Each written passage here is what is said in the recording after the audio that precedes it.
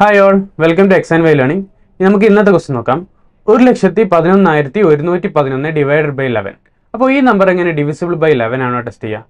നമുക്ക് ലെവന്റെ ഡിവിസിബിലിറ്റീസ് ഒക്കെ നമ്മൾ പഠിച്ചിട്ടുണ്ട്. ഈവൻ പ്ലേസിലുള്ള എല്ലാ നമ്പേഴ്സിന്റെയും സം എടുക്കുക. ഓഡ് പ്ലേസിലുള്ള എല്ലാ നമ്പേഴ്സിന്റെയും സം എടുക്കുക.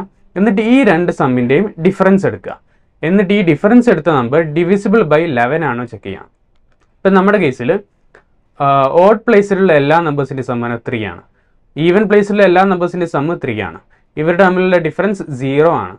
ഈ സീറോ ഡിവിസിബിൾ ബൈ ലെവൻ ആണ്. സോ നമുക്ക് ഈ കേസിൽ ഈ നമ്പർ ഒരു ലക്ഷത്തി പതിനൊന്നായിരത്തി ഒരുന്നൂറ്റി പതിനൊന്ന് എന്നുള്ള നമ്പർ ഡിവിസിബിൾ ബൈ ലെവൻ ആണ്. സോ നമ്മൾ ഓപ്ഷൻസ് ചെക്ക് ചെയ്താൽ നമുക്ക് ആകെ രണ്ട് ഓപ്ഷനെ ഹോൾ നമ്പർ ആയിട്ടുള്ളൂ.